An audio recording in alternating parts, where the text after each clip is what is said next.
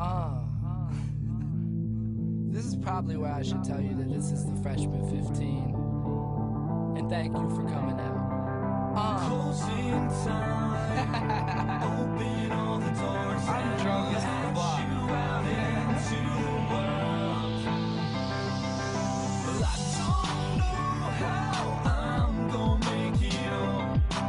I don't know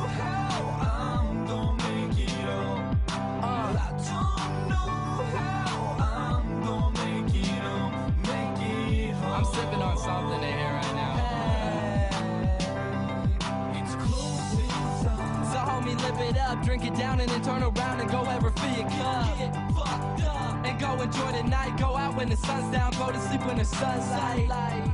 You only live life once, so puff blunts and just do whatever the fuck else you want. We got the privilege of being young, so if you ain't having fun.